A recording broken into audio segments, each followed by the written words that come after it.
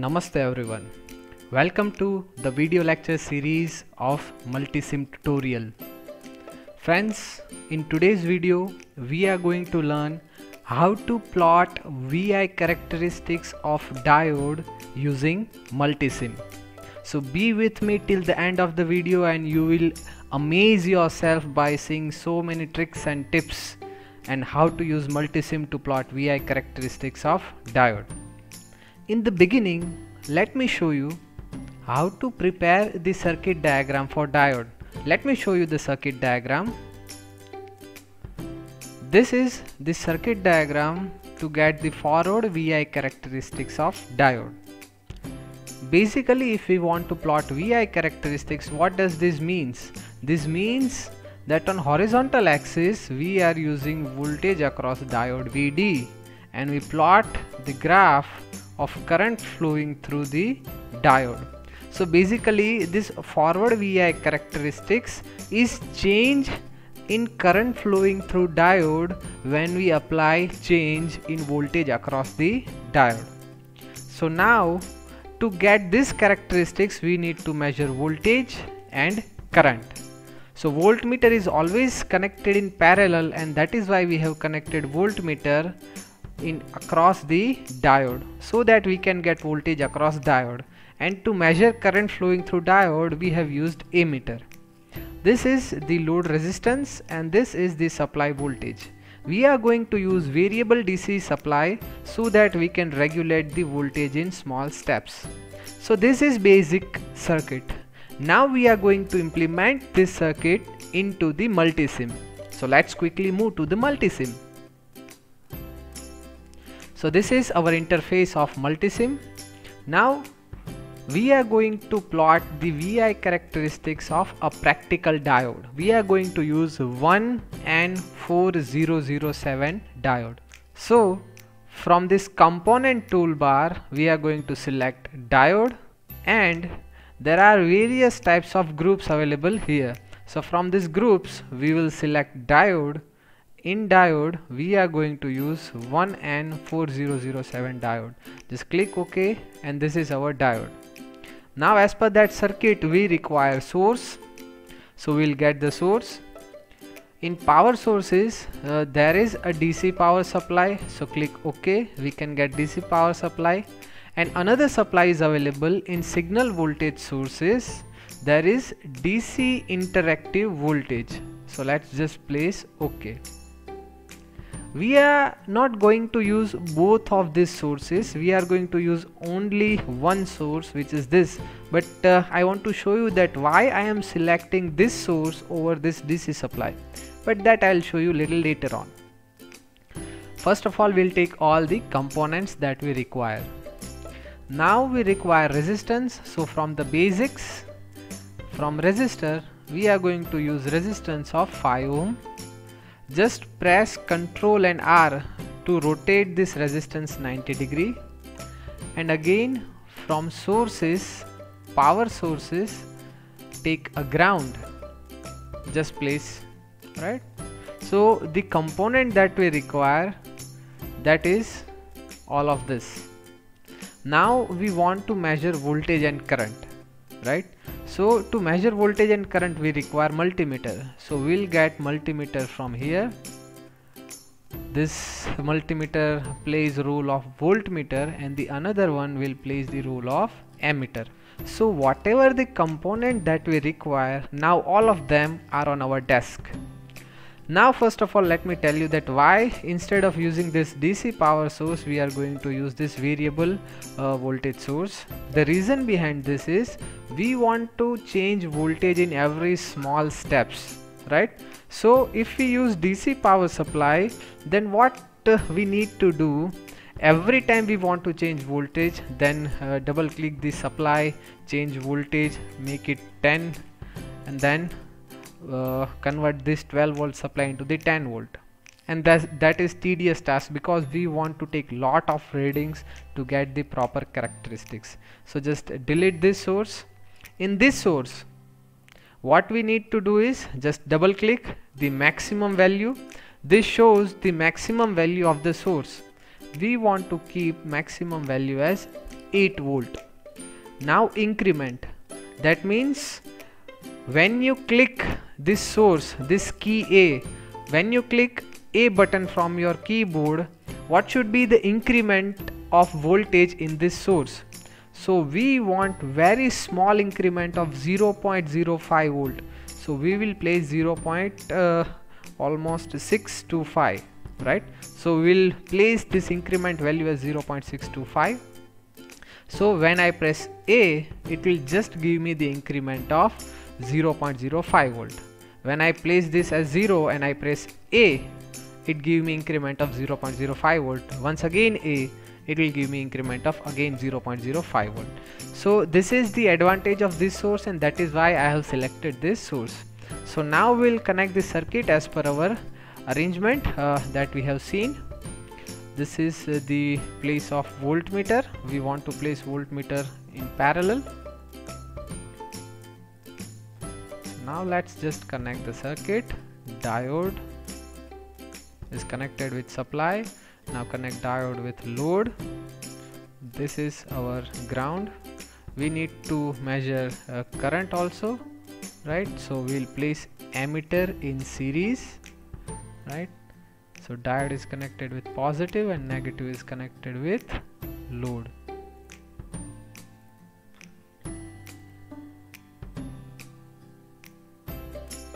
so this is the circuit. Let's connect this ground. Now let's connect this voltmeter across the diode. So this is our complete circuit right?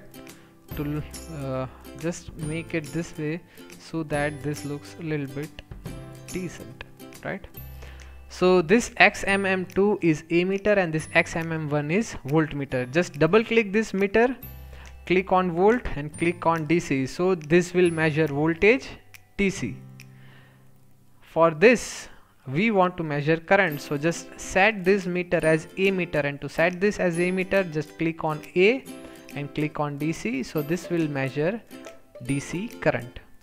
So just double click. Place this thing over here. Double click place this thing over here. So from this meter we'll be able to measure voltage and from this we'll be able to measure current. And now just simply start. So we have started. Zero voltage across diode and zero current is flowing because we are applying zero volt. Now here let me tell you if you want to understand the VI characteristics of diode I am going to prepare a separate video for explanation of VI characteristics of diode. In this video I am showing how to prepare VI characteristics of diode. So the link of the video that gives explanation of VI characteristics of diode that I have provided into the description box. Just check this thing after watching this video. So now we are going to make a first incremental change with 0.05 volt so 50 millivolt across the diode and see the 52 nanoampere of current is flowing through the diode and it is almost zero current. Now it's 0.1 volt so 99.99 millivolt across the diode and 189 nanoampere. So still it is almost 0 ampere of current is flowing through the diode. Now let me make two incremental changes 0.2 volt. Voltage across the diode increased and current flowing through the diode also increased. Now it's 0.3 volt. Voltage across diode increased and current across the diode also increased. Now the current from nanoampere it's converted into the microampere 10.5 microampere. Let me give two more increment. It's 0.4 volt across the diode and 72 microampere of current is flowing. So still it's in microampere range of current we can consider is very small amount of current almost zero. 0.5 current has slightly increased. Voltage almost 0.5 volt across diode. It's 0.6 volt. So the voltage across diode is uh, 0.586 and current is 2 milliampere. Now the current has started to come into the milliampere range now the key thing happens. Now again we are making change. 0.7 volt we have applied and the voltage across diode is 0.652 millivolt and 9 milliampere of current is flowing. Now again we have make incremental change 0.694 so it's almost 0.7 volt across the diode and current is 21 milliampere so now it's 0.721 millivolt and current is 35 milliampere. Now gradually I am going to make the change and you just observe the change in current. And then after using this readings we are going to plot the graph of the diode. It's 0.741 volt and current is 51 milliampere. Again this change current has increased. Now let's make 0.8 volt across the diode right?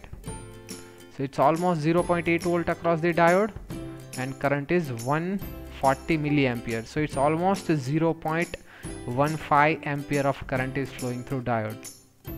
The maximum capacity of forward current of this diode is 1 ampere. Now we are going to uh, apply 0.85 volt across the uh, diode so the voltage drop of uh, across the diode we are going to bring that voltage drop uh, till 0.85 so now it's almost 0.85 millivolt voltage drop across this diode and the current flowing through this diode is 0.33 ampere or 330 milliampere. So now you can observe the change in current flowing through the diode and change in voltage across the diode. Change in voltage across the diode is very small but with respect to this change in current across the diode is larger. So let's make some more changes to this. Voltage across the diode it's almost 0.9 volt.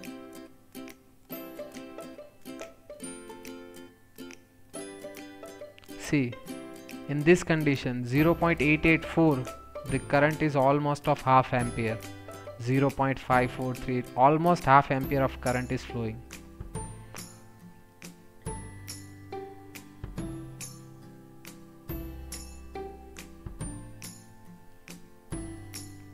So now the voltage across diode is 0.9 volt and current across the diode is almost 0.669 so gradually if we keep on increasing the voltage across the diode the current across uh, current flowing through the diode will increase. So it's almost 0.8 ampere of current is flowing. Let me make a big change. If I am applying 6 volt over here and 0.93 millivolt across the diode so the current is 1 ampere so this 1 ampere is the limit the maximum current that this diode can carry right? So this is how the voltage across diode we can keeps on changing and the current across the diode that we can get. Now we'll just stop this simulation. Now whatever reading we have observed in this voltmeter and in this ammeter I have already uh, written this equation in one excel sheet. And these readings are like this. This is the forward bias characteristics. Voltage across the diode change like this and the current across the diode changes like this. Now what we are going to do we are going to plot the graph for voltage across current. So just uh, select to plot the graph in excel sheet. Even you can learn how to plot the graph in excel sheet using this. Just select this range. Click on insert then these are the various forms of chart. Over here you can find see all chart tab. Just click that. Insert chart will be popped on. In that a scattered chart the first one the scattered chart select that and press ok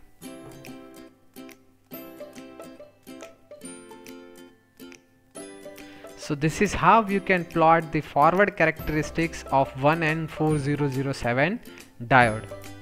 If you have any query in this you can ask me anytime into the comment section. I'll be in touch with you. Now we are going to plot the reverse characteristics of diode. And to plot that let's just quickly see the circuit diagram for the reverse bias characteristics to plot reverse characteristics what we need to do is just reverse the polarity of the diode. This is the first thing that we can do. If we do not want to reverse the polarity of diode what we can do is just reverse the polarity of this voltage source. So this is the second thing. Any of this we can do and we can achieve the reverse characteristics of diode. So now we'll quickly move towards the multisim. And over here we'll just remove this source control R two times so it will give us 180 degree shift and we'll connect this with the diode. So the source is reversed so it's ultimately diode is connected into the reversed bias. Just double click this thing and change the maximum value. We'll set as 1500 volt and we want to give the increment of 2.5 percent now why 1500 volt? Because the reverse breakdown voltage of this diode is 1000 volt. And that is why we are using the source of 1500 volt. So now let's just run this thing. The same way we will observe the readings. 37 volt. So that is minus 37.5 volt and minus nano ampere current is in nano ampere range. So it's almost zero current when we applied minus 140 uh, sorry 150 volt still the current is almost zero. It's in nano ampere range right?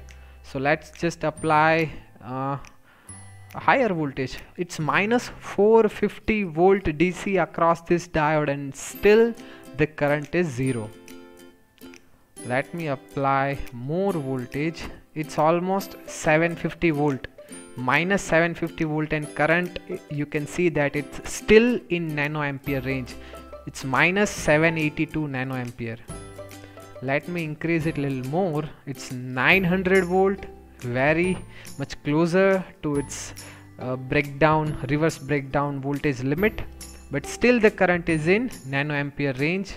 It's 937 975 when we have approached 975 from nanoampere range. Current has shifted to microampere range. But still it, it can be considered as almost zero current. It's almost 1000 volt 1013 volt. But the current is still microampere range current. Let me move a little bit. 105 it's 111 uh, sorry 1100 volt and current has shifted to 4.9 ampere. So from that microampere range current has shifted to almost 5 ampere of current. So this is the breakdown point of this diode. Let me increase it little bit more now the current has shooted up and it's almost 19.7 ampere. It's almost 20 ampere of current is flowing in a reverse direction through this diode. So this shows the breakdown of this diode. So we have seen how we can plot the reverse characteristics of the diode. Let me show you the reading that we have taken from this voltmeter and this ammeter. Let's just plot this thing in this excel sheet let's just plot this thing in this excel sheet. I have already written the reading of reverse bias right? Let's just select everything go into the insert click here in see all chart the scatter and click ok.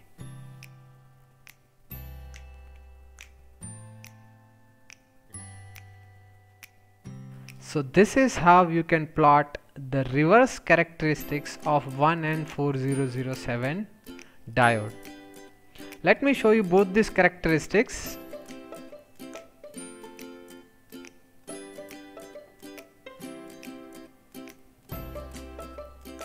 So this is forward characteristics and this is the reverse characteristics of diode and uh, in majority of the books and everywhere you have observed this type of characteristics forward and reverse characteristics of diode. So this is uh, the end of this video but before ending this video I want to ask you that uh, from this graph can you tell me what is the knee voltage for this 1N4007 diode? And what is the reverse breakdown voltage of this 1N4007 diode so if you can answer these two questions just write these answers into the comment section. And by answering this you will be able to verify that seeing this video have you actually learned anything? Have you actually remembered anything or not? So it's just for a cross check. So this is how using multisim you can plot the VI characteristics of diode. If you like this video please like share and subscribe to our channel. Until you watch the another video till that time bye bye